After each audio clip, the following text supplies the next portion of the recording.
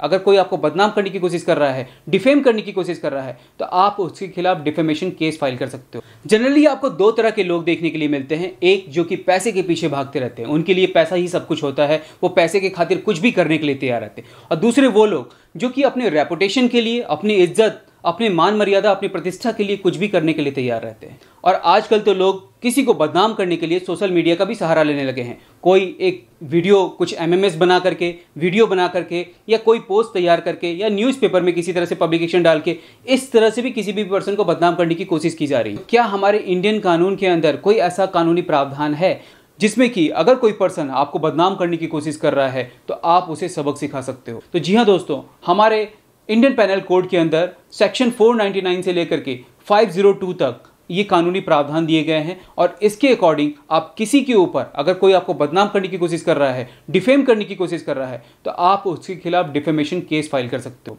ये एक civil matter है।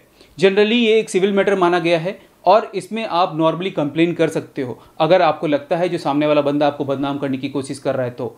लेकिन कभी कभी ये एक क्रिमिनल ऑफेंस भी हो जाता है। अगर बात बहुत सीरियस हो जाए, बात हद से ज़्यादा गुजर जाए तो वो एक क्रिमिनल ऑफेंस भी है और इसमें सामने वाले को, जो आपको बदनाम करने की कोशिश कर रहा है, उसे बहुत सारी प्रॉब्लम भी हो सकती है। तो हेलो दोस्तों वेलकम टू माय चैनल लेक्स कॉटरी मैं हूँ आपका एडवोकेट कैलाश, आज के नए लीगल ज्ञान में। जैसे कि मैंने आपको बताया, जो मानहानि या बदनामी करने के सिर्फ़ दो तरीके हैं, लिखित या मौखिक। लेकिन आज के टाइम में लोग सोशल मीडिया का भी सहारा ले रहे हैं वीडियो भी रिकॉर्ड कर रहे हैं। तो इस तरीके को भी हम कंसिडर कर सकते हैं, जो अगर कोई वीडियो बना करके भी अगर आपको बदनाम करने की कोशिश कर रहा है तो उसे भी कंसिडर किया जाएगा।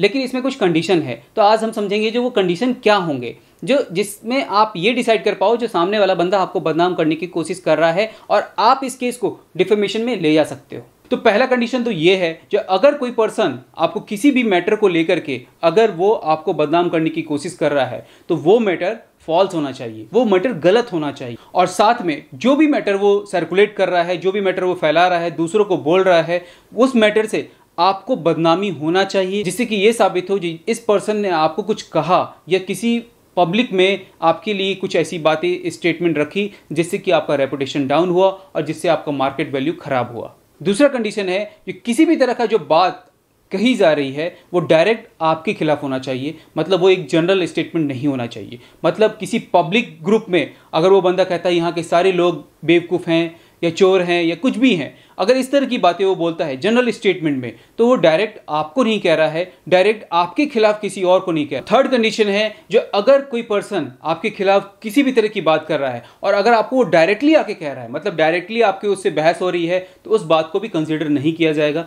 क्योंकि वो बात आपको डायरेक्टली कहा जा रहा है डायरेक्टली आप उस चीज़ को सुन रहे हो, न कि थर्ड पर्सन को कह रहा है वो।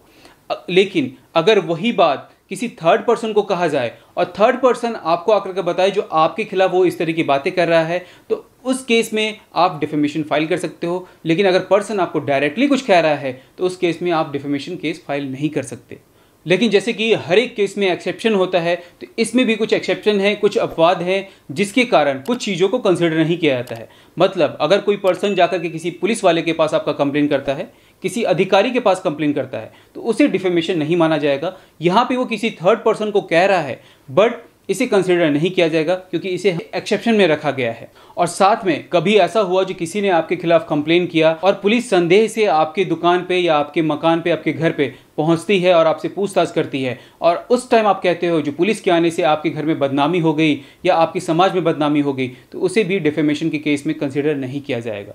और मानहानि का केस किसी जीवित व्यक्ति के साथ साथ किसी मृत व्यक्ति के लिए भी हो सकता है। कि अगर आप किसी मृत व्यक्ति पे किसी तरह की बातें, किसी तरह का लांछन लगाते हो तो वहाँ भी आपको डिफेमेशन केस का सामना करना पड़ सकता है। अब मान लेते हैं जो अगर आपको किसी के खिलाफ डिफेमेशन केस फ़ाइल करना है, कोई आपको बदनाम करने की कोशिश कर रहा है और आपको किसी के खिलाफ डिफेमेशन केस फ़ाइल करना है तो सबसे पहले क्या करना चाहिए? तो सबसे पहले जो भी एविडेंस है जो भी एविडेंस उससे केस से रिलेटेड है, उस मैटर से रिलेटेड है, आप उसे स्ट्रांगली अपने पास कलेक्ट करिए।